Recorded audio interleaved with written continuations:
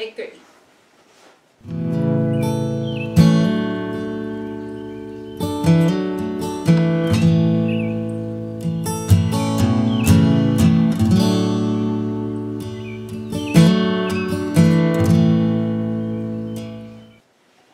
Welcome to this episode of Making It Work. With all the crazy stuff going on in the world right now with the coronavirus, we thought we would show you some different um, liquid hand soap and hand sanitizer.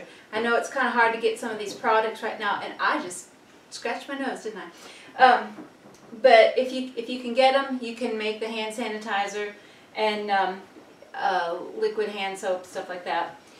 But uh, we are working on the teardrop. Tim is out there working on it right now, and um, we hope to be done with it soon. We had hoped to be done with it and using it this week, but turns out, you know, it was kind of a mute point because those plans got canceled with the coronavirus stuff.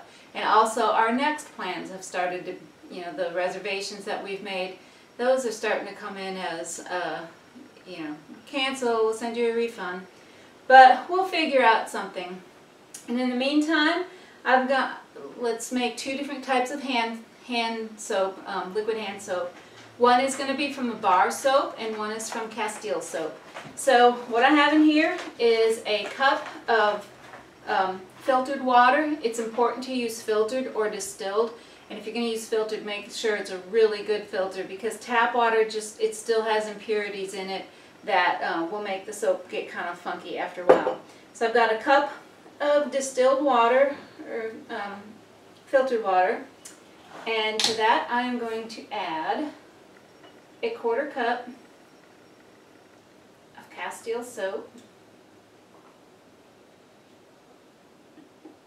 I don't know if all these people before the coronavirus weren't washing their hands or what, but we're washing our hands.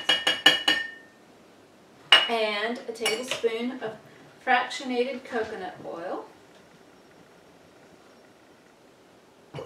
It just means that it stays liquid. That's all that means. And then 15 drops of um, your favorite essential oil, which you're supposed to use um, unscented Castile soap, but I think this has a scent in it. Um, I really like it, so I'm just going to stick with that. But you just then put it in a, um, probably a foaming thing, which this was my sister-in-law's thing, foaming, foaming hand soap dispenser. Pouring it on the counter. Look at that, like a glove. It smells really good. And, ta-da! Me rinse that off. Okay, the second one's a little more involved. I have, you need, you need some grated soap, but in my case, I've just kind of chopped some up. I used um, some slivers, some soap slivers that I had, and just kind of chopped them up into small pieces. We're going to use a quart of distilled or filtered water. Turn it on to medium heat. Add an ounce of grated soap. It says finely grated. And then you're just going to stir that as it heats. And then you can add essential oils to that one too, of course. And then as far as the hand sanitizer, that is going to be two-thirds of a cup of alcohol. And we're talking about like rubbing alcohol. So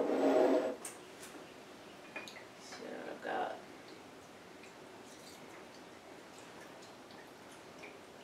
that looks a lot.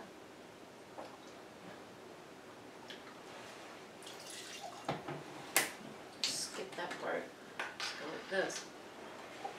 One third two thirds, two thirds of a cup of alcohol, and Now, my daughter was able to find this aloe. They were unloading a truck and putting it out when she got there. And, ooh, that stuff is thick. I don't know if you can see that, but. Some aloe.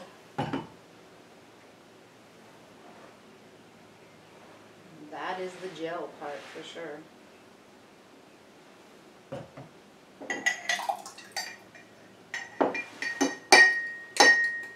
So a third of a cup of aloe, aloe gel. And I am going to use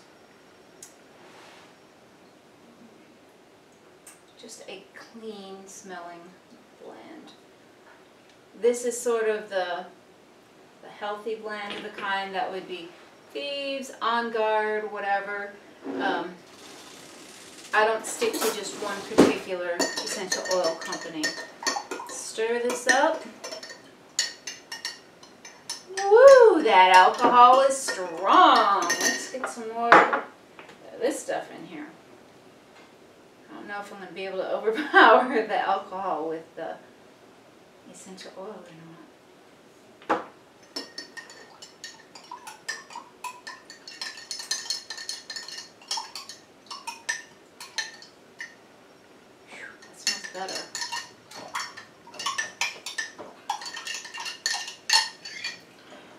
That's the consistency. It's probably a little bit runnier than um, than like commercial hand sanitizer, but I think it'd work just fine. Some on my hands and see here. Yeah.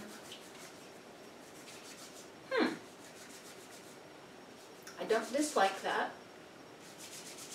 And it the alcohol evaporates and you can just smell the essential oil. Interesting. I like it. Okay, that was hand sanitizer.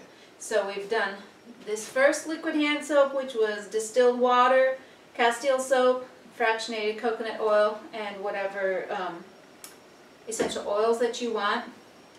Hand sanitizer, which was two-thirds cup of rubbing alcohol and a third cup of aloe gel, aloe vera gel.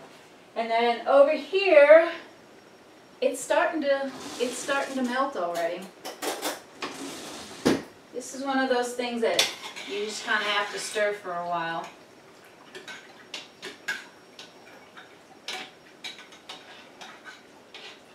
So this is a quart of filtered or distilled water, an ounce of grated soap, and I'll link to my uh, homemade soap recipe at the end of this video. And just uh, heat it over medium heat and keep stirring it. And then uh, once, once the soap is all melted, you can add essential oils if you want to. Of course, I've already got them in it with, with the soap that I made. And um, you let this you let this cool. Put it in a container. Like I'm going to pour it back into this quart jar. Let it cool, and then you need to let it sit for about 24 hours because that's where it kind of gels up a little bit and gets thicker. But I will show you what it looks like once it's all melted. All right, this is melted finally. Get a hot pad to pour it into. So I'm just going to pour it back into the jar, let it cool, and then I'll add some essential oil to it, probably lavender. What I've, what I've discovered right now is that it just smells like the soap, like I didn't even put any essential oil in it. Like the way the soap smells when I, before I add that to it. And maybe dog hair. No extra charge for dog hair around here. Oh, it's going everywhere. And it's hot.